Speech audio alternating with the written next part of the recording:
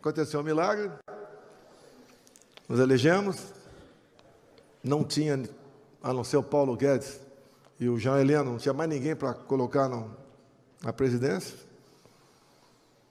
E é algo que realmente eu não sei o que explica essa eleição. Mas eu tenho algo sobre 2018, que como nós não vivemos uma democracia no momento, eu vou esperar um pouco mais para revelar. Porque o que eu falo, eu provo. É muito fácil você lançar algo no ar e posar como um vidente, um profeta. Né? A gente prova. E as coisas acontecem na vida da gente. Se a facada tivesse sido fatal, o Haddad seria presidente da República. Imagine como é que seria a Covid com o PT. É. E mais, a facada foi em setembro de 2018. A Marielle Franco foi assassinada em março de 2018. Eu teria sido enterrado, ainda com a culpa de ter planejado a morte da Marielle. Alguém tem dúvida disso? Não. Tanto é que o delegado da Polícia Federal, que eu não quero generalizar aqui, fez um inquérito, concluiu que foi um lobo solitário.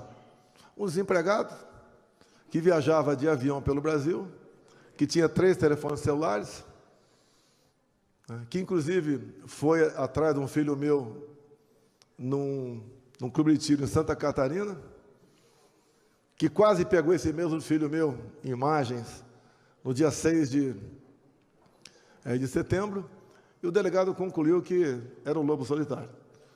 Parabéns a esse delegado. Ele foi premiado pelo governo Lula. Atualmente ele é diretor de inteligência da Polícia Federal.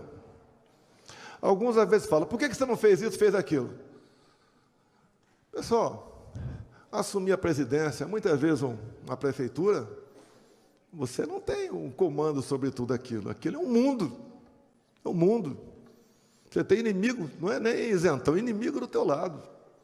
cara que tem outros interesses. A gente vai fazendo o que é possível. É a mesma coisa se essa casa aqui estiver toda suja, você assume agora, eu dou um copo d'água e um lenço, limpe, tem quatro horas. É quase a mesma coisa a presidência. Fizemos o possível cortamos 20 mil cargos de comissão e ficamos com 30 mil, né? O pessoal fala, porra, 30 mil cargos de comissão? A prefeitura de Angra dos Reis tem 1.800. Eu não sei quanta prefeitura aqui tem. É só fazer uma regra de três. A gente faz o possível. E onde erramos, né? Para não ser reeleito. Eu acho que todo mundo já sabe o que aconteceu. A gente vai acompanhando. Parabéns a, ao nome que a Polícia Federal deu esse plano agora de golpe da minha parte, né? Tempo de verdade, concordo, tempo de verdade. Estamos marcando agora, já marcamos para o dia 21 de abril o movimento em Copacabana, Rio de Janeiro.